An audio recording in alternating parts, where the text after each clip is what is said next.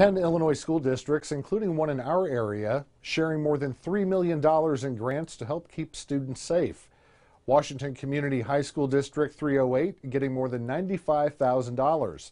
The federal grants provide funding for training local law enforcement to prevent student violence, technology to quickly notify law enforcement during an emergency, and other tools to improve security.